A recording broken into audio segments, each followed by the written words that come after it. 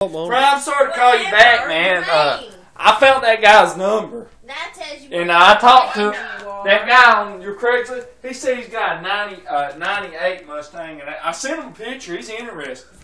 He, I mean, I think that's a good fair. He wants to trade a Mustang for. it. He don't want to give cash. I thought it was worth two point two million dollars. I don't care what it's worth. I just want the I just want the Mustang. Let him have that thing. I don't I don't want to go sell it for a lot of money. It might- But you send it to me. Send the comic book to me, and I'll buy you the Mustang. the Mustang?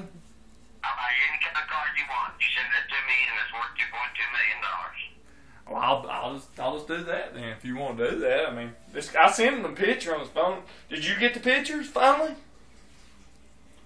Did I get pictures Yeah, on my. Did you get my Facebook page? on my phone? Yeah. No. Okay. I was about to ship for me yesterday around Craigslist, but you never told me what it was for.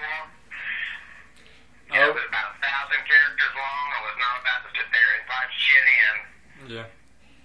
looking for who knows what. Yeah. Well, that guy probably he probably just got he, he said something about an old Mustang. He, it might, might be a beat up, might be a Falabi. I was just talking to him about it. Just call me tomorrow. Call me tomorrow, brother.